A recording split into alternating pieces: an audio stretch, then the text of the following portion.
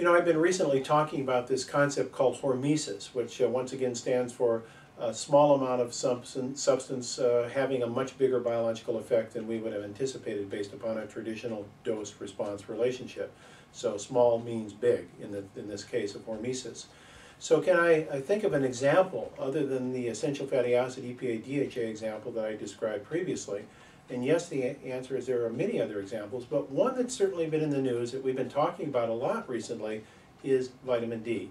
Vitamin D, if you think about the amount of vitamin D that is required to promote function, it's in the microgram level, very, very small amount.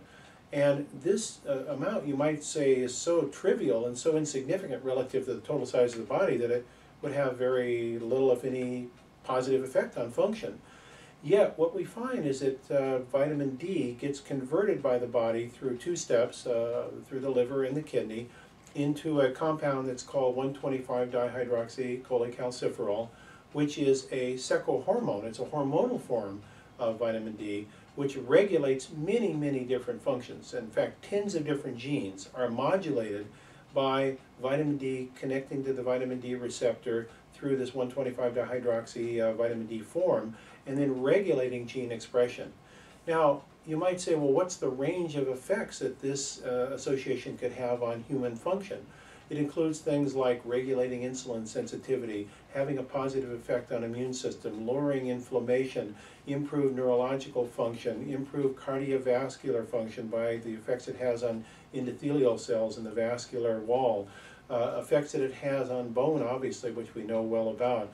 Uh, there are so many different pleiotropic, meaning uh, multiple effects that this uh, regulatory substance has that we can't say one agent means one outcome. It's a systems biology influence that it has in regulating function. Now there's a recent report that just appeared in the literature that demonstrates the range of effects that something like this can have. It was a study done in women who had a very serious adverse effect from drug therapy. They were taking the drug called Arimidex, which is a aromatase inhibiting drug gets used in women who have breast cancer. And one of the side effects of this drug, unfortunately, is severe arthralgia and myalgia, uh, joint and muscle pain.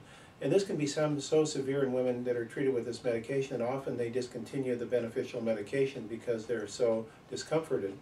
In this particular study, it was found that many of these women have very low uh, levels of the hormonal form of vitamin D. They have low levels of 25 hydroxy vitamin D3 in their blood.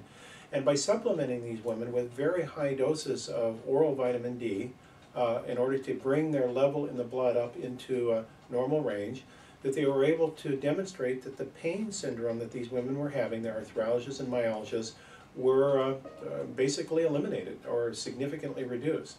So you might say, well, how does vitamin D regulate pain? Well, the answer is this inflammatory process associated with this drug and the effect on, on uh, women who are taking it is modulated through genetic expression patterns that are regulated in part by this vitamin D, 125-dihydroxy vitamin D hormonal form through the uh, vitamin D receptor signaling ultimately into genomic expression. So here's another example of a very small amount of the substance, the right substance at the right place at the right time, having a very large effect on, on clinical outcome. And in this case, I'm obviously talking about nutritional pharmacology. This is not your like normal vitamin D nutriture. Here we're using a replacement therapeutic dose in order to get a, a, specific clinical outcome of benefit.